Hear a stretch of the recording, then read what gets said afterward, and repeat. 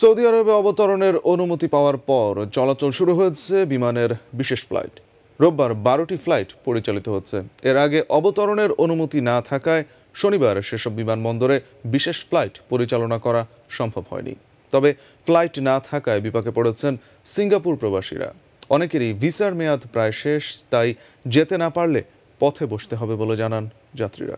আরও জানাচ্ছেন ড্যানি ত্রং লকডাউনের ফলে আন্তর্জাতিক ফ্লাইট বন্ধ থাকায় প্রবাসী শ্রমিকদের কর্মস্থলে ফেরার বিষয়টি বিবেচনায় পাঁচটি দেশে বিশেষ ফ্লাইট চালুর উদ্যোগ নেওয়া হয়। প্রথম দিন শনিবার সৌদি আরবে অবতরণের অনুমতি না থাকায় চালু করা যায়নি সব ফ্লাইট। এতে দুর্ভোগে পড়েন হাজারো যাত্রী। তবে রোববার কেটে গেছে সেই সমস্যা। চলাচল শুরু করেছে বিশেষ ফ্লাইট। এরই মধ্যে সৌদি আরবের বিভিন্ন বিমানবন্দরে গেছে কয়েকটি ফ্লাইট। ফ্লাইটে ক্যান্সেল হয়েছে আজকে ফ্লাইটে দিচ্ছে এখন বোঝা যাবে আর কি যে কি অবস্থা এখন তো দাম্মাম সৌদি দাম্মাম আজকে আমরা যাইতেছি মেয়াদ আছে?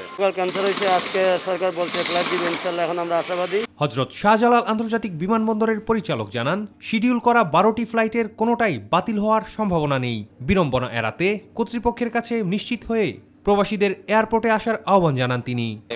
কালকে যে যে কারণে ফ্লাইট বাতিল হয়েছিল বিমানের এবং ফ্লাই দুবাইয়ের আজকে আসলে সেরকম কোনো কারণ নাই এবং ফ্লাইটও বাতিল আজকে ইনশাল্লাহ হবে না। আজকে টোটাল বারোটি ফ্লাইট যাওয়ার কথা আছে তারা সময় মধ্যে যাবে আশা করি আর কি। যাত্রীরা যদি একটু যোগাযোগ করে আসে সেক্ষেত্রে তারা আসলে এয়ারপোর্টে এসে সমস্যা পড়বে না।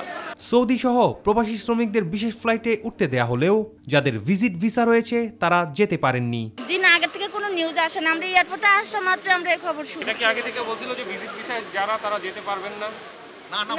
বলে না এটা। আর সৌদি আরবে বাসা যদি নিষেধ করে তাহলে একটা কথা ছিল। উনি তো নিষেধ করে নাই। তাহলে সে কেন নিষেধ করব? ফ্লাইট না থাকায় কর্মস্থলে ফেরা নিয়ে সংশয়ে সিঙ্গাপুরের প্রবাসীরাও। সিঙ্গাপুর প্রবাসীদের জন্য এখন পর্যন্ত কোনো বিশেষ ফ্লাইট দেওয়া হয় নাই।